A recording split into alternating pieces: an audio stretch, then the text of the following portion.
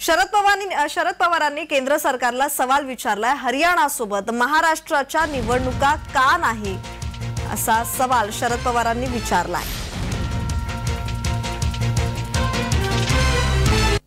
जम्मू काश्मीरची निवडणूक जाहीर झाली हरियाणाची झाली झारखंड आणि महाराष्ट्राची झाली. सगळ्या देशात एका वेळी निवडणुका घ्यायचं सगळ्या प्रधानमंत्री वांदेच असताना. महाराष्ट्राच्या निवडणुकीच्या संबंधी त्यांचा हा निर्णय एक प्रकारचा विरोध लागतो